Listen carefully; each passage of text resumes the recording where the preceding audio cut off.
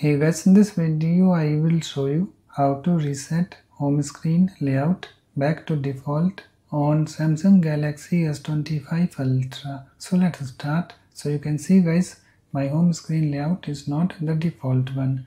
You can see some apps are moved over here and also these places don't have any app and also this widget is over here. So to reset home screen layout back to default, just open your settings app and then scroll down to apps and then tap on it and then just do a search for one UI home. Okay. And this app so just tap on it to open it. Let me tap on it.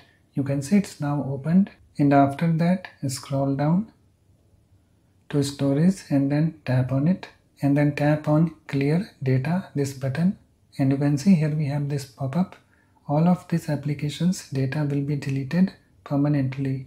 This includes all files settings accounts databases etc so just read this message and if you agree only then tap on this delete this button. So i agree to this. So let me tap on this delete this button. So this app's data is now deleted. And now if i go to my home screen you can see the layout is now back to default. So that's it. Please like, comment and subscribe for more videos.